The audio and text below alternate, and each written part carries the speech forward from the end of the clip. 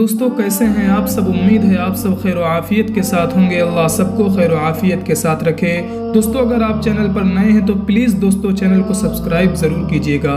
दोस्तों, आज की इस वीडियो में हम शहाब भाई के मुतालिक बहुत कुछ बातें बताने वाले हैं। कुछ दोस्तों, नई अपडेट है, वो मैं आपको बताने की कोशिश करूँगा। दोस्तों, शहाब भाई को अपने घर केरल से निकले हुए आज दोस्तों ये आठवां महीना है, क्योंकि दोस्तों, वो 2 जून 2022 को अपने घर, अपनी फैमिली, अपने रिश्तेदारों को अलविदा कर गए थे। दोस्तों, आज उन्हें क्या मालूम था कि उनके खिलाफ ऐसी भी साजिश होगी?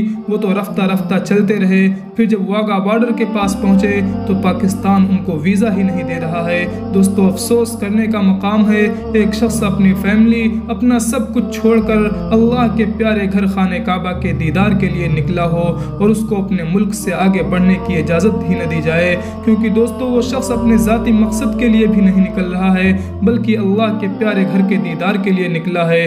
दोस्तों, ये कहाँ का इंसाफ है? दोस्तों, कितने लोगों ने अलग अलग देशों से पैदल हज का सफ़र किया है। अभी दोस्तों, गुजशत साल 2022 में इंग्लैंड के एक शख्स ने पैदल सफ़र हज किया था।